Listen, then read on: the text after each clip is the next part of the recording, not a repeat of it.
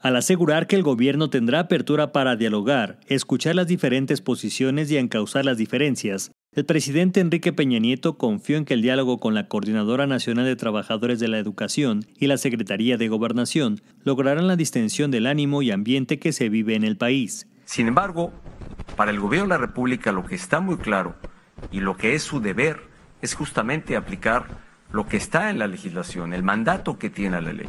Lo que no está el gobierno dispuesto a hacer es a negociar la ley. La ley no esta ni cualquier ni ninguna otra, no solo la, la legislación educativa, ninguna otra está sujeta a negociación.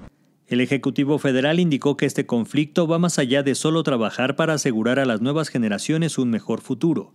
Lo que debe estar en el centro de este debate, lo que debe dejarnos, yo creo que en reflexiones ¿Por qué se hizo la reforma educativa? ¿Por qué logró tal nivel de consenso y respaldo de las principales fuerzas políticas?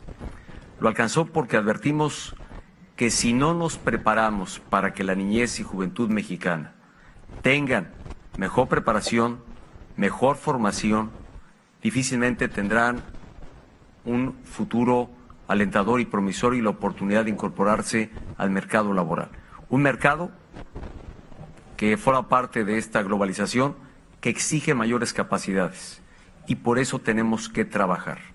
Yo creo que la reforma educativa deriva en importantes beneficios para el propio magisterio al eh, premiar y reconocer los méritos de cada maestro, pone a la escuela en el centro o como un elemento central precisamente de la forma educativa para que haya espacios dignos para que los jóvenes reciban educación y presta especial atención al contenido educativo que deben recibir las nuevas generaciones.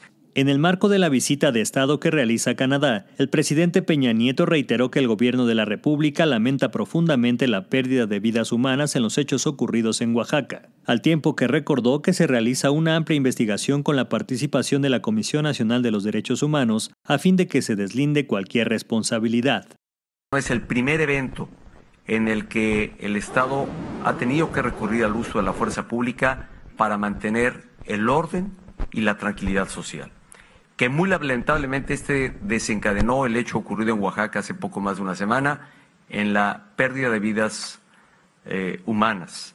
Y ello debe llevar a definir responsables y a sancionar a los mismos. Con información de Araceli Rivera, Notimex.